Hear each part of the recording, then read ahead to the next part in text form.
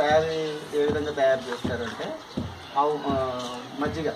ఒక ఐదు లీటర్ల మజ్జిగ ఐదు నుంచి ఆరు లీటర్ల వరకు కూడా వేసుకోవచ్చు. ఎక్కువ తెగుళ్ళు కానీ ఇట్లా ఉంటాయి ఈ మజ్జిగ ద్రావణాన్ని మనము ఉపయోగించుకోవచ్చు.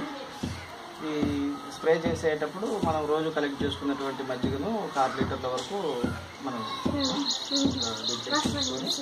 దాంట్లోకి ఒక రెండు వందల గ్రాముల వరకు ఇంగువను వేసుకోగలిగితే మరి మంచిది. ఆ ఇంగువ ఈ మధ్యగా బాగా చేత్తో కలిపేసేయాలి.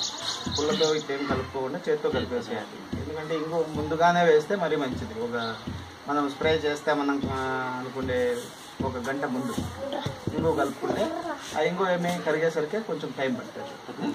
ఆ, దీంట్లోనే వేసుకోండి.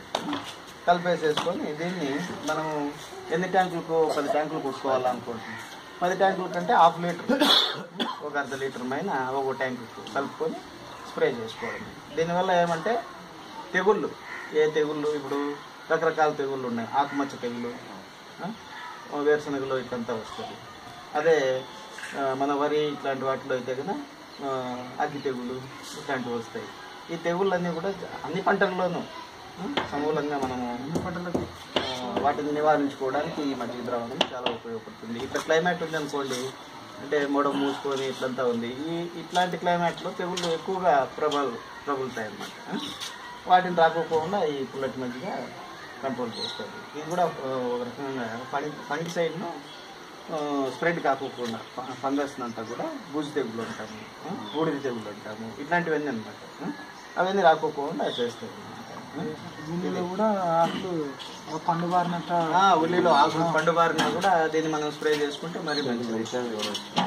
ఉల్లిలో పనిచేసే అన్ని పంటల్లోనూ కూడా తెగుళ్ళు ఏవైతే ఉన్నాయో మజ్జిగ తెగులు అని అంటాం ఉల్లిలో ఆ కొవ్వులు పైకి ఉండేటివన్నీ కూడా పండు బారిపోయి కిందికి పడిపోతాయి. రెండు సార్లు వారంలో రెండు సార్లు మనం స్ప్రే చేసుకున్నామంటే కంప్లీట్గా ఓకే అవుతుంది క్యూర్ అయిపోతుంది. మనము చాలా ఎక్కువ ఖర్చులు పెడతా ఉన్నాం. వేలకు వేలు తీసుకొచ్చి అదంతా కూడా అవసరం లేదు ఇట్లాంటివి చేసుకుంటే. ఇదంతా మన ఇంట్లో తక్కువ ఖర్చుతో చేసుకునేదే కదా. కాకపోతే మజ్జిగ బాగా పులిసేటట్టు చూడండి. బాగా మజ్జిగ పులిసిన తర్వాత ఇంకో వేసుకోండి. ఈ ఇంకో మజ్జిగను కొంచెం అట్లా దగ్గరలో క్లోజప్ మజ్జిగ. దీంట్లోకి ఇది మహా అంటే ఒకటిన్నర లీటర్ అట్లుంటుంది. దీంట్లోకి ఇంకా ఒక నాలుగు లీటర్లు అట్లా కలుపుకొని ఒక ఎకరాకు స్ప్రే చేసుకోవచ్చు. ఎన్ని రోజులు పెట్టినా నీకు చెడిపోయేది ఏం కాదు ఇది. ఎంత మనకు వాసన వస్తుందో ఎక్కువ పులిసిన వాసన వస్తుందో అంతవరకు మనం పెట్టగలిగితే మరీ మంచిది? పులిసిన వాసన రావాలి. ఏం కాదు. వారమైనా ఏం కాదు. ఎంత పులిసిపోతే అంత మరీ మంచిదే.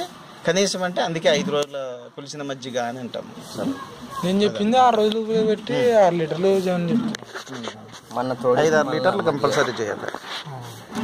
ఓకే.